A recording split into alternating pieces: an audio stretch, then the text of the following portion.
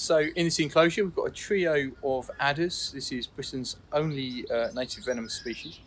And they come out quite early, so as soon as the sun's shining, uh, these girls are out having a, a, bit of a bask, trying to thermoregulate and uh, enjoy some sunshine. And we're going to attempt to feed them. They might be hungry, they might not be, but they've, they've come out of a winter-long brumation. We're just going to see whether or not. Ooh.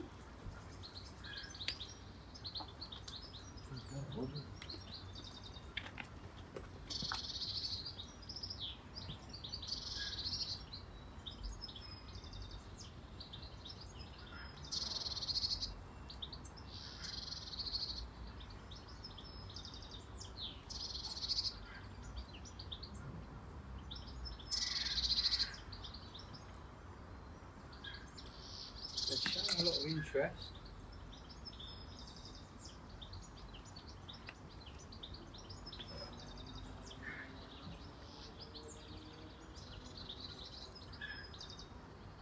How can the snake tell that it's something they want to eat? Well, they've got a really good sense of smell. And we've warmed them up to replicate the rodent's body heat as well. Oh. Yeah. Oh.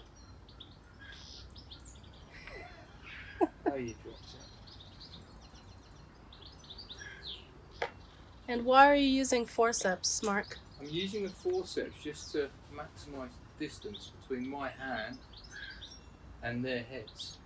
Just because they are a venomous species, and although uh, and although they certainly wouldn't be interested in hurting me, just because they're feeding, um, I want to avoid any potential to get bitten myself. So what would happen if they, you did get bitten?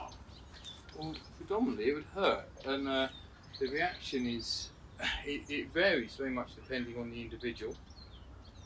Um, usually, you'd expect uh, a lot of pain, localized pain and swelling in the area that was bitten. They're a hemotoxic species. So very similar, although much milder venom to rattlesnakes and other large viper species. So can adders unhinge their jaws then? Yeah, like many species, they can open their jaws extremely widely, which is an adaptation for them, just to take uh, a relatively large meal, which you can see here, the mice compared to the uh, size of the snake's head.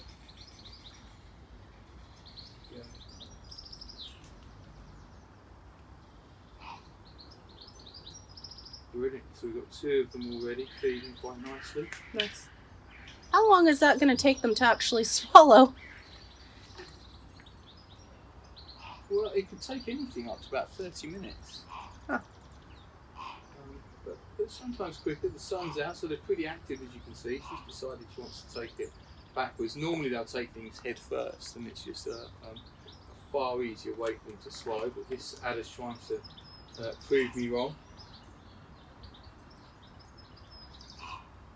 And then if they do keep down a whole mouse, how long would that keep them satiated for?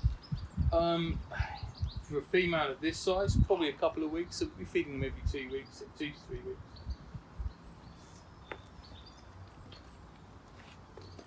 And why is it important that we have adders here at Wildwood?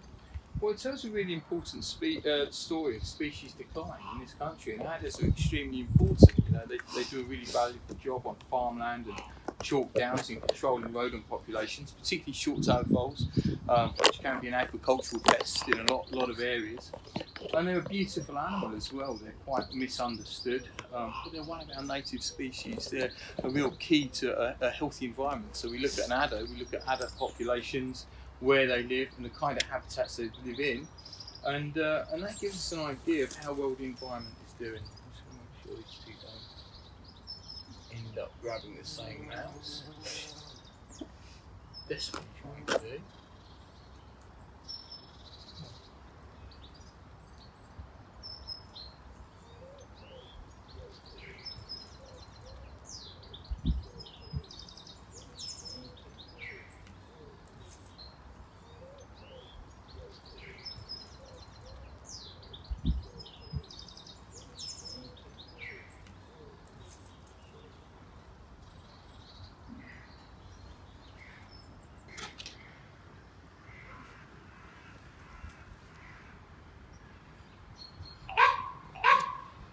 Putting on quite a display now.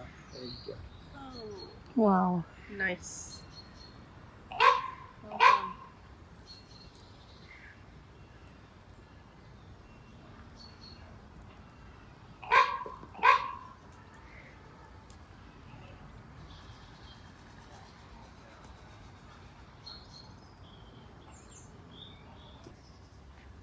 So, if people are out for a walk and they spot a snake, how can they tell it's an adder as opposed to, let's say, a grass snake, for example?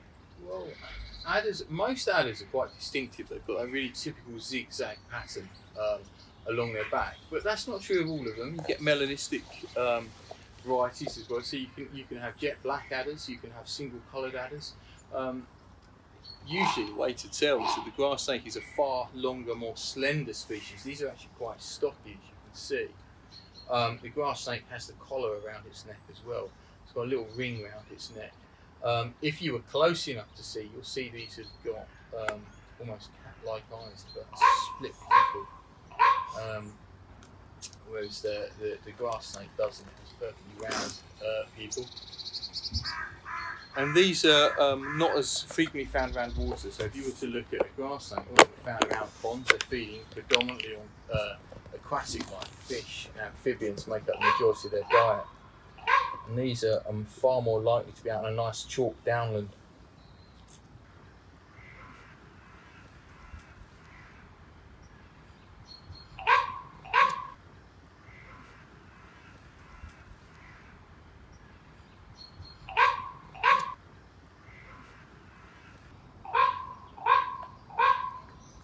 And they'll sit there now and just digest that. Over the uh, next few days, that will keep the- these guys going.